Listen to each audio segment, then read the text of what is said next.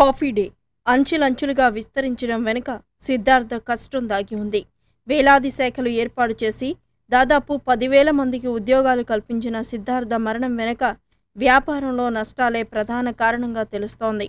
ఓ విఫల వ్యాపారినంటూ సిద్ధార్థ రాసిన చివరి లేఖ సంచలనంగా మారింది.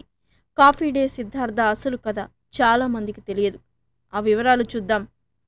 కొండల్లోని కాఫీ తోటల్ని నగరాల్లో కాఫీ డేలుగా మార్చిన వ్యాపార మాంత్రికుడు. అదును చూసి అవకాశాలపై గురిపెట్టి గెలిచిన అసాధ్యుడు విజీ సిద్ధార్థ. ఆ పేరే ఒక మహత్తు కాఫీ తాగినంత మత్తు. పుట్టుకతోనే శ్రీమంతుడైన జీవితాన్ని సవాలుగా తీసుకున్నాడు. సంచలన విజయం సాధించాడు. కర్ణాటకలోని చిక్మంగళూరులో పన్నెండు వేల ఎకరాల కాఫీ తోటలకు వారసుడు సిద్ధార్థ. కష్టాలనేవి తెలియకుండా పెరిగాడు. అయితే లోక జ్ఞానం తెలుసుకునేందుకు బోర్డింగ్ స్కూల్లో చేర్పించారు తల్లిదండ్రులు. చిన్నప్పుడు ఆటల మీదున్న శ్రద్ధ చదువు మీద ఉండేది కాదు. ఎనిమిదో తరగతిలో అత్యవసర మార్కులొచ్చాయి అతని ప్రవర్తన భరించలేని టీచర్ ఒరే నీకు అర్థమయ్యేలా పాఠాలు చెప్పలేకపోతున్నానన్న సందేహం కలుగుతోంది. చదువుపై కాస్త శ్రద్ధ పెడితే నీ భవిష్యత్తుకే మంచిదంటూ కంటతడి పెట్టింది ఆ టీచర్ ఒకవేళ బెత్తంతో కొట్టుంటే మొద్దుబారేవాడేమో. చెడామడా తిట్టుంటే దులిపేసుకుని వెళ్ళేవాడేమో. లేదంటే తోటి విద్యార్థులతో పోల్చి అవమానించినట్లయితే మరింత మొండిగా తయారై అసలు మారేవాడే కాదేమో. టీచర్ కన్నీళ్ళు చూశాక కళ్ళు తెరిచాడు సిద్ధార్థ. దేశాన్ని కంటికి రెప్పలా కాపాడే సైనికులంటే సిద్ధార్థకు గౌరవం. గ్రాడ్యుయేషన్ పూర్తి చేశాక సైన్యంలోకి వెళదామని డిఫెన్స్ అకాడమీ పరీక్ష రాశాడు. ఉత్తీర్ణుడు కాలేదు. చేసేది లేక మంగళూరుకు వెళ్ళి అర్థశాస్త్రంలో పోస్ట్ గ్రాడ్యుయేషన్ చేశాడు. ఒకరోజు తాను స్టాక్ మార్కెట్పై శిక్షణ కోసం బొంబాయి వెళ్ళాలనుకుంటున్నానని తల్లిదండ్రులతో చెప్పాడు. కాఫీ తోటలు చూసుకుంటాడనుకున్న కొడుకు ఇలా మాట్లాడడం ఆశ్చర్యం కలిగించింది. ఎంత చెప్పినా వినలేదు. ఆఖరికి తండ్రి సిద్ధార్థ చేతిలో కొంత డబ్బు పెట్టి సాగనంపాడు. పంతొమ్మిది వందల ఎనభై మూడులో సిద్ధార్థ చిక్మంగళూరు నుంచి బొంబాయి చేరుకున్నాడు. చేతి నిండా డబ్బున్నా దాని విలువ తెలుసు కాబట్టి చిన్న లాడ్జ్లో దిగాడు. నారిమన్ పాయింట్లోని బహుళ అంతస్తుల భవనం చేరుకునేందుకు లిఫ్ట్ ఎక్కడం అదే తొలిసారి. లిఫ్ట్లో భయపడిపోయి బయటకొచ్చి మెట్లెక్కాడు. అందులోని ఒక ఆఫీస్కి వెళ్ళి రిసెప్షనిస్ట్తో తాను కర్ణాటక నుంచి వచ్చానని మహేష్ కంపానీ గారిని కలవాలని అడిగాడు. ఆయన్ని కలవడానికి కొన్ని రోజుల నుంచి ఎదురు చూసేవాళ్ళు చాలామందే ఉన్నారు. తానిప్పుడొచ్చి కలుస్తానంటే కుదరదన్నారు. నెల రోజుల ముందు అపాయింట్మెంట్ తీసుకున్న కష్టమే అంది రిసెప్షనిస్ట్. పదే పదే బతిమాలితే ఆయన గదిలోకి వెళ్ళేందుకు అనుమతి ఇచ్చింది సార్ మీ గురించి చాలా చదివాను విన్నాను. నేను ఎకనామిక్స్ పట్టభద్రుణ్ణి. చేస్తే గీస్తే మీ దగ్గరే శిష్యరికం చేయాలి లేదంటే మా ఊరెళ్ళి నాకు ఇష్టం లేకపోయినా కాఫీ తోటలు సాగు చేయక తప్పదు. ఒక్క అవకాశం ఇవ్వండి అంటూ వినయంగా వేడుకున్నాడు. సిద్ధార్థ అంకిత భావాన్ని చూసి చిరునవ్వుతో ఓకే అన్నాడు మహేష్ కంపానీ. బొంబాయి స్టాక్ ఎక్స్చేంజ్కి ప్రెసిడెంట్ జేఎం క్యాపిటల్ అధినేత అయిన ఆయన దగ్గర ఎంతైనా నేర్చుకోవచ్చన్నది సిద్ధు ఆలోచన. అక్కడే సిద్ధార్థ జీవితం మలుపు తిరిగింది.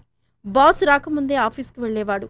మళ్ళీ ఏ రాత్రి పదింటికో ఆయన వెళ్ళాక ఇంటికి బయలుదేరేవాడు.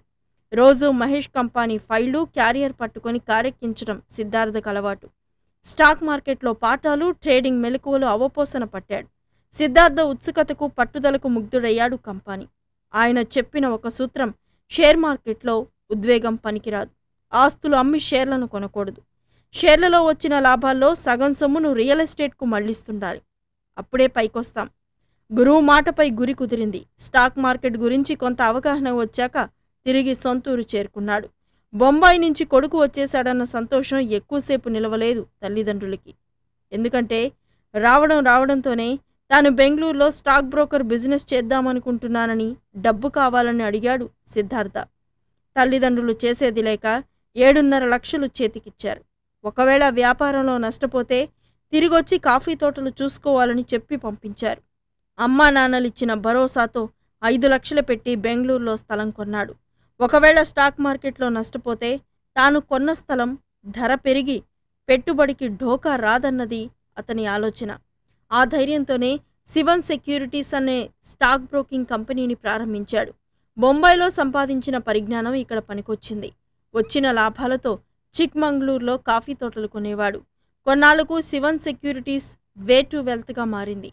పంతొమ్మిది వందల ఎనభై ఐదు నుంచి పంతొమ్మిది వందల తొంభై మూడు వరకు సుమారు మూడు వేల ఎకరాల కాఫీ తోటల్ని కొనడం సిద్ధార్థ సాధించిన పెద్ద విజయం. ఆ తర్వాతి కాలంలో బాబ్రీ మసీదు కూల్చివేత బొంబాయిలో బాంబు పేలులు తదితర పరిణామాలతో స్టాక్ మార్కెట్ కుప్పకూలింది. మరోవైపు హర్షద్ మెహతా కుంభకోణం మదుపర్లను ఉక్కిరిబిక్కిరి చేసింది. అదే సమయంలో ఇన్ఫోసిస్ పబ్లిక్ ఇష్యూకు వచ్చింది. ఒక్కో షేర్ ధర నూట ఐదు రూపాయలు ఉండేది. వెంటనే ఆ సంస్థ వ్యవస్థాపకుడైన నారాయణమూర్తిని కలిశాడు సిద్ధార్థ. మీ కంపెనీ టర్నోవర్ కేవలం పదిహేను కోట్లు ఉద్యోగులు రెండు వందల యాభై మంది. ఇంత చిన్న కంపెనీ షేర్కు అంత ధర పెడితే ఎవరు కొంటారని అడిగాడు. దాంతో ఇన్ఫోసిస్ యాజమాన్యం షేర్ ధరను తొంభై ఐదుగా నిర్ణయించింది. మొదట్లో ఎవ్వరూ పెద్దగా కొనలేదు. ముందు చూపుతో అరవై వేల షేర్లను కొన్నాడు సిద్ధార్థ. ఆ తర్వాత ఐదింతల లాభానికి అమ్మేశాడు. అప్పుడు అమ్మకుండా ఇప్పుడు విక్రయించి ఉంటే పదిహేను వందల కోట్ల లాభం వచ్చుండేది. ఆ తప్పు మళ్ళీ చేయకుండా మైండ్ ట్రీలో నాలుగు వందల ముప్పై ఐదు కోట్లకు మూడున్నర కోట్ల షేర్లను కొని మూడు వేల కోట్ల లాభానికి అమ్మేశాడు. ఆ తర్వాత సిద్ధార్థ చూపు కాఫీ వ్యాపారంపై పడింది. ఆ రంగాన్ని సంక్షోభం నుంచి గట్టెక్కించే నాథుడే లేడు. ఆ సమయంలో పివి నరసింహారావు ప్రధాని. సిద్ధార్థ వెంటనే రైతులను వెంటబెట్టుకొని ప్రధానిని కలిసి సర్ అంతర్జాతీయ మార్కెట్లో కాఫీ గింజల ధర కిలో ముప్పై పలికితే రైతులకు కాఫీ బోర్డు చెల్లించే ధర కేవలం పది రూపాయలే. రైతులే నేరుగా ఎగుమతులు చేయడానికి ప్రభుత్వ నిబంధనలు ఒప్పుకోవు. దేశంలో కాఫీ రైతులకు మేలు కలిగే చట్టాలు చేయండని విన్నవించాడు. కాఫీ ధరల సమస్యను అప్పటి ఆర్థిక మంత్రి మన్మోహన్ సింగ్ కూడా ప్రధాని దృష్టికి తీసుకెళ్ళడంతో ఫలితం దక్కింది. ఆరు నెలల్లోనే కాఫీ బోర్డు గుత్తాధిపత్యాన్ని తగ్గిస్తూ రైతులే నేరుగా ఎగుమతి చేసుకునే వెసులుబాటు కల్పించింది కేంద్రం. వేల ఎకరాల కాఫీ తోటల యజమాని కేవలం వ్యవసాయానికే పరిమితమైతే లాభం లేదు. అనుబంధ వ్యాపారాల్లోనూ అడుగు పెట్టాలి. అమాల్గమేటెడ్ కాఫీ బీన్ కంపెనీని ప్రారంభించాడు సిద్ధార్థ. అదే సమయంలో కాఫీ గింజల ఉత్పత్తిలో అగ్రస్థానంలో ఉన్న బ్రెజిల్లో కరువు వచ్చింది. కాఫీ పంట బాగా తగ్గిపోయింది. ధర పెరిగింది. సిద్ధార్థ తెలివిగా అవకాశాన్ని అందిపుచ్చుకున్నాడు. ప్రపంచ దేశాలకు నాణ్యమైన కాఫీ గింజల్ని ఎగుమతి చేశాడు. రెండేళ్ళు తిరగకుండానే అతిపెద్ద కాఫీ ఎగుమతి సంస్థగా మార్చాడు. ఇక్కడితో ఆగిపోకూడదనుకుని ఒకసారి ఏదో పని మీద సింగపూర్ వెళ్ళాడు. అక్కడ ఇంటర్నెట్ బీర్ కెఫే కనిపించింది. అందులో యువతి యువకులు ఒక చేత్తో బీర్ తాగుతూ మరో చేత్తో కంప్యూటర్ బ్రౌజ్ చేస్తున్నారు. సిద్ధార్థకు ఆ అవుట్లెట్ చాలా కొత్తగా ఆధునిక తరాన్ని ఆకట్టుకునేలా కనిపించింది. మన దేశంలో బీరుకు బదులు కాఫీ కెఫేలు పెడితే అనే ఆలోచన వచ్చింది. అక్కడికక్కడే తాజా గింజల్ని మర ఆడించి గుమగుమలాడే కాఫీని చేసివ్వడం కెఫే ప్రత్యేకత. బెంగళూరులో ఒక అవుట్లెట్తో మొదలై ఇప్పుడే కాఫీ డేకు పదిహేడు వందల ఎనభైకి పైగా అవుట్లెట్లతో విస్తరించింది.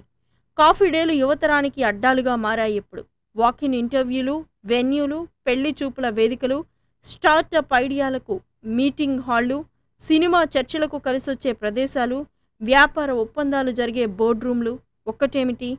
A lot can happen over a coffee అనిపించుకున్నాయి. Internet అంటే ఏమిటో తెలియని రోజుల్లో బెంగళూరులోని బ్రిగేడ్ రోడ్లో తొలి కేఫ్ను ప్రారంభించారు సిద్ధార్థ. తన భార్య మాళవిక. తమ కాఫీ కేఫ్లోకి ఎవరు అడుగు పెడతారా అని పడిగాపులు కాచేవారు. కొత్తలో ఎవరూ వచ్చేవాళ్ళు కాదు. నాడు ఆయన నాటిన కాఫీ డే అనే విత్తనం నేడు మహావృక్షమై ప్రపంచ ప్రఖ్యాత స్టార్బక్స్ కోస్టా కాఫీ మెకెఫేల సరస్సును చేరింది. పదిహేను అంతర్జాతీయ నగరాల్లో కాఫీ డే విస్తరించింది. కర్ణాటకలోనే కాకుండా దేశవ్యాప్తంగా అతను సెలబ్రిటీగా మారాడు. మాజీ సీఎం ఎస్ఎం కృష్ణ కూతురుతో పెళ్ళైంది పదిహేను వేల ఎకరాల కాఫీ తోటలు మూడు వేల ఎకరాల అరటి తోటలతో ఆయన వ్యవసాయ వ్యాపారం వర్ధిల్లుతుంది. ప్రతి ఉదయం తన పుస్తకాల అల్మారాను తెరచి చూస్తే కానీ ఆ రోజు మొదలవ్వదు. బలమే జీవితం బలహీనతే మరణమనే వివేకానంద స్వామి సూక్తి తనకెంతో శక్తినిస్తుంది అంటున్న విజీ సిద్ధార్థ తాజా కాఫీ లాంటివాడు. అతని ప్రయాణం చివరికి ఆత్మహత్యగా మారి నేత్రావతి నదిలో శవమై తేలడంతో ముగిసింది.